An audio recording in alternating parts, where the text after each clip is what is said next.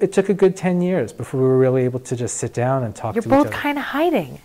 And, and you're trying and you're doing this like really tender thing of kissing, but there's there's in this order to survive. this veil, this uh, But I like to see proof of things I've before I'll believe them. relied on in in that pursuit for survival That's something um, that really don't serve me any longer.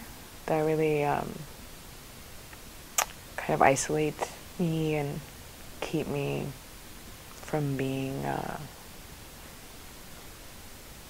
my f- fullest, the fullest and best version of me. Just a beautiful little sweet person really. And because of her condition and her illness. Massive, modern, almost made her even more sweeter. White.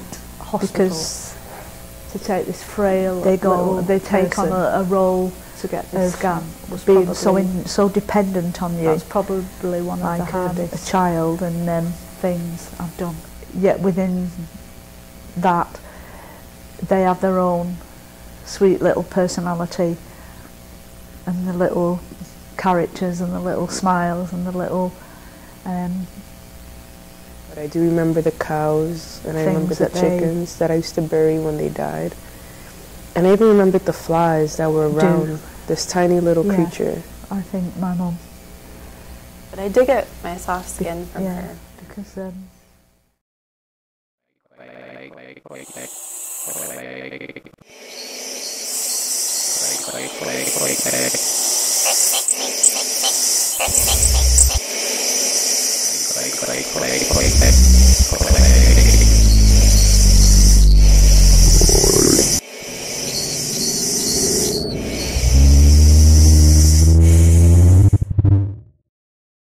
want to see my mother um, when her mother died and how she got through it. I just remember like talking to my mom and she she was telling me that he was downstairs or whatever and I like ran all the way downstairs, jumped in the taxi and he was just talking to me and he extended his hand out and was touching my face.